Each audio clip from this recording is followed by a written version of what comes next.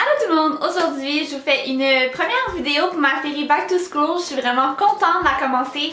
Par contre, je sais que je la commence vraiment tard. Ma Marielle est présente avec moi aujourd'hui. Pour ceux qui ne me suivent pas sur ma chaîne de vlog, vous savez sûrement pas c'est qui. Mais c'est Ariel.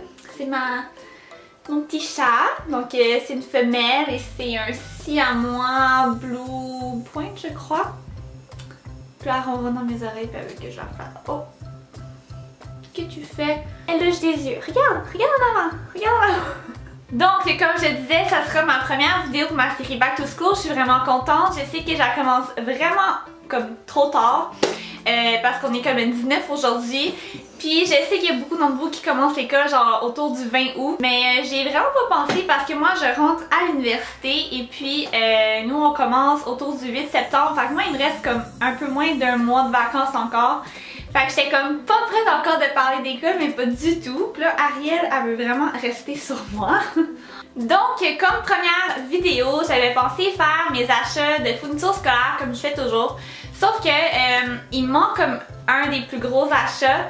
Puis euh, c'est un ordinateur portable, un autre, oui oui, parce que le mien est vraiment vieux et il est extrêmement lourd. Fait que je pourrais vraiment pas le transporter euh, pendant comme deux heures de transport en commun, matin et soir. Là ça, ça marchera pas. Fait que là, j'attends ça, mais dès que je le reçois, je vous filme une vidéo.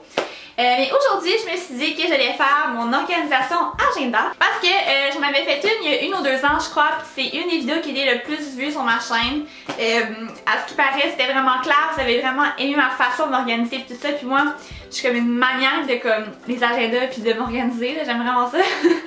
fait que c'est ça, je me suis allée le refaire. je pense que c'est quand même très très semblable. Je crois pas que ça a vraiment changé. Mais bon, euh, je me suis dit pourquoi pas le faire? Je vais juste me prendre une gorgée d'eau dans ma petite tasse Frozen. Ah oui, c'est comme la plus cute là. Genre, je déteste boire de l'eau, mais à cause de ça, j'aime ça. Donc, comme je disais, euh, voici mon agenda pour l'année scolaire. Ça me surprend que j'ai pris rose parce que j'aime pas vraiment rose d'habitude. mais euh, les autres couleurs étaient un peu moins interpellantes à mon goût.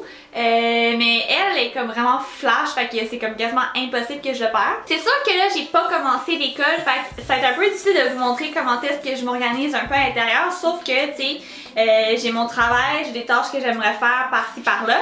Puis je vais vous montrer à peu près comment j'organise ça à l'instant. Voici comment mon agenda se présente. J'espère que vous voyez euh, assez bien. Merci, c'est vraiment mieux que je peux faire. Donc l'agenda se présente seulement comme ça. Il est vraiment vraiment simple. Moi j'aime pas les agendas avec des lignes. Ariel! Journée par journée avec les heures, donc de 8h à 19h. Et ensuite en bas, on a une petite espace pour marquer des notes. Et puis samedi dimanche, des plus petites parties. Donc moi je marche vraiment au code de couleur. Comme vous pouvez voir là j'ai pas encore de cours parce que c'est comme la, la semaine du 10 août. Mais euh, je travaille quand même beaucoup. Puis là hein, on admire mes ongles qui sont gris. Moi je capote genre. C'est tellement tellement beau. Fait que c'est ça.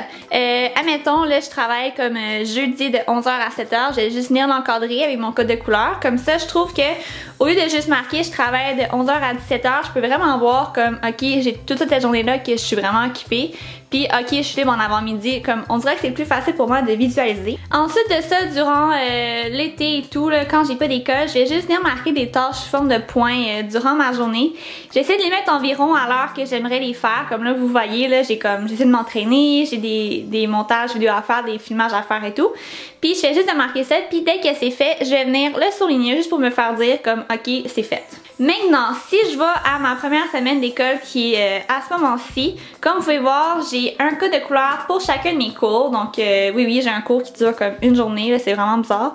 Puis ce cours-là, je sais que c'est encore plus bizarre, mais je l'ai comme le vendredi, samedi, dimanche, mais après ça, je l'ai plus du tout. Euh, donc c'est ça. Je marque surtout au début de l'année le numéro du cours, le numéro du local, juste pour que ça soit beaucoup plus facile à mémoriser parce que c'est sûr que les premières semaines, on oublie souvent. Et puis pour ce qui est des devoirs, là, comme je vous dis, j'en ai pas encore, donc c'est dur à vous dire. Mais par exemple, si euh, ce cours-ci, le mercredi, il me donne un devoir à faire pour le prochain cours.